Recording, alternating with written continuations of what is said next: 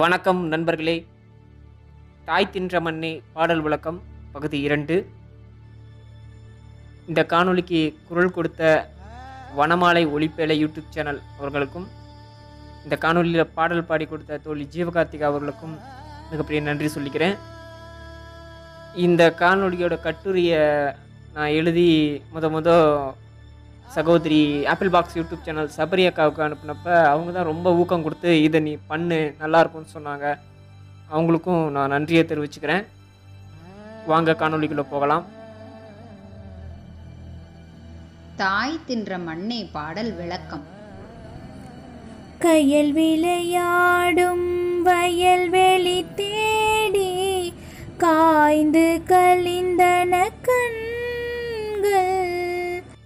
கயல் விளையாடும் வயல்வெளி தேடி காய்ந்து கழிந்தன கண்கள். கயல் என்றால் மீன் என்று அர்த்தம். கயல் விழியால் மீன் போன்ற அழகான கண் வளைவுகளை உடைய பெண்ணே அப்படிங்கிற வரிகள் நாம் படித்திருப்போம். தற்போது உலகில் பல விவசாய நாடுகளில் விவசாய நிலத்தில் நெற்கதிர்களுடன் மீன் வளர்ப்பையும் சேர்த்து செய்து வருகின்றனர். நெல்லை அறுவடை செய்யும் பொழுது நன்கு வளர்ந்த மீன்களையும் நாங்கள் அறுவடை செய்து விற்பனை செய்கிறோம். அப்படின்னு சொல்லி டூ இன் ஒன் அந்த மாதிரியான விவசாயத்தில் ஈடுபட்டு இருக்காங்க அதை சோழர்கள் காலத்திலேயே அப்பேற்பட்ட விவசாயம் இருந்திருக்கு. நெற்கதிர்களுக்கு நடுவில் நாம் மீன் பண்ணையை வைத்து வளர்த்திருக்கோம் அப்படிங்கிறத இந்த இடத்துல கவிஞர் சொல்கிறார் ஆயிரத்தில் ஒருவன் திரைப்படத்தில் ஒரு காட்சியில் பார்த்தீங்கன்னா வறண்ட பூமியில் மாடு கூட இல்லாமல் மனிதர்களை வைத்து ஏறு விடுவாங்க ஒரு காலத்தில் வயல்வெளியில் மீன் பண்ணை வைத்து வளர்த்து இரட்டை அறுவடை செஞ்சவங்க இன்னைக்கு இப்படி இருக்கும் பாருங்க அப்படிங்கிற வேதனையை உணர்த்துகிறார்கள். காவிரி மலரின் கடிமணம் தேடி கருகி முடிந்தது நாசி. காவிரி மலரின் கடிமணம் தேடி கருகி முடிந்தது நாசி. காவிரி ஆறு அப்படின்னு சொன்ன உடனே இப்போது நமக்கு முதல்ல ஞாபகம் வர்றது தஞ்சை திருச்சி போன்ற பகுதிகள் தான். பறந்து விரிந்து ஓடி பல செல்வங்களை நமக்கு அள்ளி கொடுத்த இந்த காவிரி கரையோரத்திலிருந்து வெளியாகும் மனம் காவிரியால் செழிப்படைந்த விவசாய நிலங்களில் இருந்து வரும் மண்மணம் சிலருக்கு சென்ட் வாசனை அலர்ஜியாய் இருக்கும். சிலருக்கு பூ வாசனை அலர்ஜியாய் இருக்கும். யாருக்குமே அலர்ஜியை அதாவது அயற்சியை கொடுக்காத ஒரு நல்ல வாசனை கடிமணம் எனப்படும்.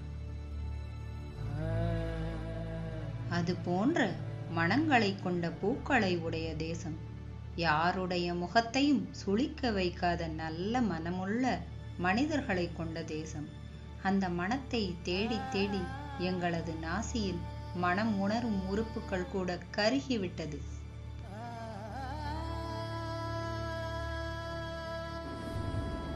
சிலை வடிமேவும் ஒளி ஒளி தேடி திருகி விழுந்தன செவிகள்.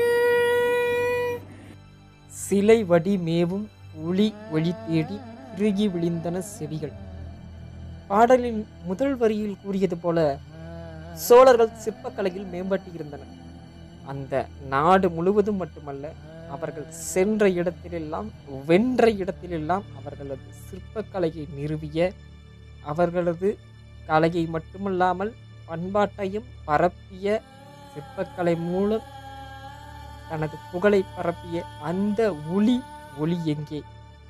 எப்படி காவிரி படுகையின் மனம் உணராமல் என் நாசி கருகியதோ அதுபோல எங்கள் மொழியை கலையை திறமையை எதிர்கால சந்ததியினரும் உணரும் வகையில் நாங்கள் வடித்த சிற்பங்களை காணாமல் அந்த சிலை வடிக்கும் ஒளியை கேளாமல் எங்களின் செவி உடலில் வீணாக இருக்கிறது என அது திருகி கீழே விழுந்துவிட்டது. ஊன் பொதி சோற்றின் தேன் சுவை கருதி ஒட்டி உலர்ந்தது நாவும்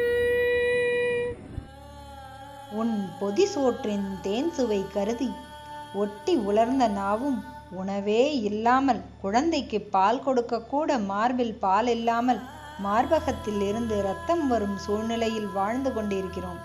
நாங்கள் ஆனால் சோழ தேசத்தில் நாங்கள் உண்டது எப்படிப்பட்ட உணவு? வைரமுத்து தன்னுடைய ஒரு கவிதை தொகுப்பில் தனது அன்னை செய்யும் சமையலை அருமையாக விவரித்து எழுதியிருப்பார். நமக்கு நாவில் எச்சில் ஊறும். அதை படிக்கும் பொழுதே அதில் ஒரு வரியில் கருவாடும் தேனொழுகும் என எழுதியிருப்பார். உவமைக்காக அவ்வளவு சுவையாயிருக்குமாம் உணவுகள். அதுபோல சுவையான உடலுக்கு ஆரோக்கியத்தையும் வலுவையும் தரும் மாமிச உணவுகளையும் உண்டு வளர்ந்தோம். சோழ தேசத்தில் இங்கு அது போன்ற உணவின் வாசனையை தேடி தேடி எங்கள் நாக்கு உலர்ந்து விட்டது. புலிகொடி பொறித்த சோழ மாந்தர்கள் எலிக்கறி குறிப்பதுவோ? காற்றை குடிக்கும் தாவரமாகி காலம் கழிப்பதுவோ? புலிக்கொடி பொறித்த சோழ மாந்தர்கள் எலிக்கறி கொறிப்பதுவோ? காற்றை குடிக்கும் தாவரமாகி காலம் கழிப்பதுவோ? தெற்காசியாவையே கட்டியாண்ட இனம் இன்று உணவுக்காக எலிகளை கொன்று தின்று கொண்டிருக்கிறோம். பல நேரங்களில் உணவே இல்லாமல் தாவரத்தைப் போல காற்றையும் ஒளியையும் மட்டுமே உண்டு வாழ்ந்து கொண்டிருக்கிறோம். மண்டை ஓடுகள் மண்டிய நாட்டை மன்னன் ஆளுவதோ? மண்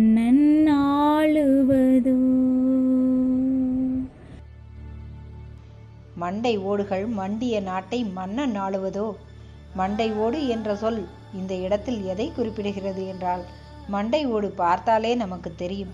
சதை இல்லாமல் கண்ணில்லாமல் காதில்லாமல் எல்லாமே சுத்தமாக வழிச்செடுக்கப்பட்டு ஒரு அருவருப்பான தோற்றத்தை கொண்ட ஒரு பகுதி. அதுபோல வயல்வெளிகளும் இல்லாமல் நல்ல வாசனையையும் வீசும் மலர்கள் இல்லை நெல்மணமும் இல்லை உடலுக்கு ஆரோக்கியத்தையும் வலுவையும் தரும் நல்ல உணவும் இல்லை வீரமாக பயிற்சி செய்த போர் புரிந்த களமும் இல்லை. சிற்பக்கலை தமிழ்ச்சங்கம் என எதுவும் இல்லாமல் எல்லாமே சுத்தமாக வழித்து எடுக்கப்பட்ட மண்டை ஓடான இந்த தேசத்தை மன்னன் ஆண்டு கொண்டிருக்கிறேன் என்கிறார்.